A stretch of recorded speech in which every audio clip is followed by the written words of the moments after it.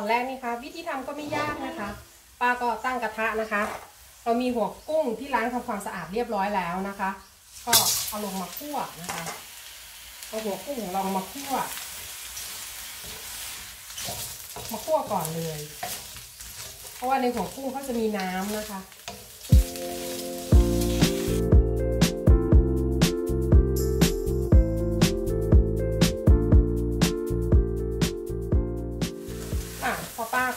กุ้งมาสักพักแล้วนะคะเขาก็จะเริ่มออกเหลืองๆอย่างนี้แล้วนะคะเห็นไหมคะน้ำมันจากหัวเขาก็จะออกมาติดติดๆกระทะนะคะ ทีนี้นะคะ ให้เราใช้น้ำมันนะคะ น้ำมันที่ใช้เนี่ยให้ใช้น้ำมันมะกอกหรือว่าน้ำมันมะพร้าวจะดีมากเลยนะคะแต่ถ้าแฟนทางบ้านไม่มีก็ใช้น้ำมันลำข้าวนะคะ หรือว่าน้ำมันดอกทานตะวันก็ได้นะคะป้าไม่อยากให้ใช้น้ำมันปาล์มเพราะว่าน้ำมันปาล์มเขาเหมาะกับการทอดนะคะ แต่อันนี้เราจะทำน้ำมันกุ้งเอาไว้ผัด ผัดกับข้าวหรือว่าทำข้าวผัดหรือว่าทำทำเป็นกุ้งถังอะไรอย่างนี้นะคะ ให้เราใช้น้ำมันตามที่ป้าบอกไปนะคะ ให้เทลงไปเลยจำนวนเนี่ยแล้วแต่เลยนะคะว่าเราอยากให้ทำน้ำมันไปใช้เยอะไหมอย่างนี้นะคะ แล้วก็ให้ balance กับหัวกุ้งของเราด้วยนะคะ ทีนี้ค่ะก็ให้เขาให้หัวกุ้งเขาเหลืองกรอบนะคะนี่ค่ะเอาใส่หมดเลยแล้วกัน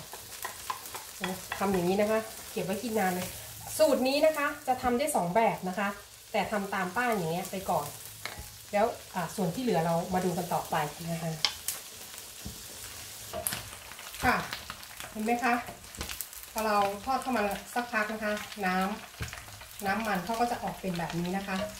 อันนี้พอเราคิดว่าหัวกุ้งของเราเหลืองกรอบแล้วนะคะ ราะว่าเขาไม่ระเบิดแล้วนี่แสดงว่า คือถ้าเราคั่วก่อนเขาจะไม่ค่อยระเบิดนะคะ แต่ถ้าเราไปใส่น้ำมันก่อนแล้วเอาหัวกุ้งลงไปที่หลังเนี่ยเขาจะระเบิดนะคะเขาจะระเบิด แต่ถ้าเราคั่วเขาก่อนเขาจะไม่ระเบิดเลยเห็นไหมคะเนี่ยทำตามที่ป้าทุกที่ทำให้ดูนี่นะคะ ทีนี้นะคะ พอเรารู้สึกว่ากุ้งของเราเหลืองกรอบแล้วให้เราปิดไฟเลยนะคะ ให้เราปิดไฟของเราเลยพอปิดไฟเสร็จปุ๊บให้เราปล่อยให้เขาเย็นนะคะ ตอนนี้เราทำอะไรเขาไม่ได้เลยนะคะ ให้เราปล่อยทิ้งไว้ให้เขาเย็น แล้วเราก็มาดูขั้นตอนต่อไปกันค่ะเขายังไม่เสร็จนะคะ ค่ะ ค่ะ หลังจากที่เราปล่อยให้เย็นแล้วนะคะ อันนี้คือน้ำมันเราจะทำสองสูตรนะคะ อันนี้สูตรแรกนะคะ ให้เรามากรองนะคะ กรองน้ำมันที่เราอ่าผัดหรือว่าทอดหัวกุ้งนี้ไปนะคะ นี่ค่ะ กรองเขาเลยนะคะ เอาน้ำมันที่เราน้ำมันกุ้งที่เราได้เนี่ย เก็บใส่ขวดโหลนะคะ เก็บไว้ใช้งานนั่นเองค่ะ นี่คือได้ได้น้ำมันชุดแรกไปแล้วนะคะ เก็บใส่ขวดโหลเวลาเราจะผัดข้าว จะทำไข่เจียวนะคะหอมมากเลยนะหอมแบบหอมมาก ๆเลยนะคะ ถ้าแฟนทางบ้านทำดูจะรู้เลย แล้วก็มาสูตรที่สองนะคะ สูตรที่สองอันนี้ได้ไปแล้วนะคะ สูตรที่สองแบบนี้ก็จะเป็นแบบซอสนะคะโอเคมาตั้งตรงนี้แบบซอสเนี่ย เราจะมีเครื่องปั่นนะคะ ให้เอาหัวกุ้งนะคะ ให้เอาหัวกุ้งของเราเนี่ยค่ะ ใส่อุ้ยล่วงไปก็มีนะคะ ใส่ลงไปในเครื่องปั่นของเราเลยจำนวนเนี่ยแล้วแต่เลยนะคะ ว่าจะเอาเข้มข้นมากหรือไม่มากนะคะ นี่ค่ะ ใส่ลงไปเลยพร้อมน้ำมันนะคะแล้วหัวกุ้งที่เหลือเนี่ย ถ้าเราไม่ทำเยอะนะคะ เราก็เอาไปจิ้มน้ำจิ้มซีฟู้ดก็ได้นะคะ หรือว่าคลุกคลุกเกลือคลุกกระเทียมได้หมดเลยนะคะ นี่ค่ะปลากลัวเยอะไปนะคะ อันนี้หัวกุ้งที่เหลือทีนี้ก็เอาน้ำมัน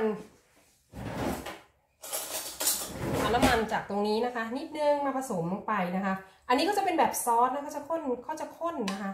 เขาจะข้นมาก อันนี้จะเหมาะมากเลยนะคะ เอาไปทำน้ำพริกได้นะคะ นี้ทีนี้ก็ปั่นค่ะ ปั่นเขาให้ละเอียดเลย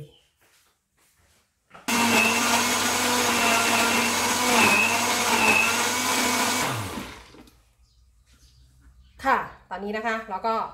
เสร็จเรียบร้อยแล้วนะคะ แบบครีมหรือว่าแบบซอสนะคะ นี่ค่ะ เราจะข้นๆแบบนี้เลยนะคะ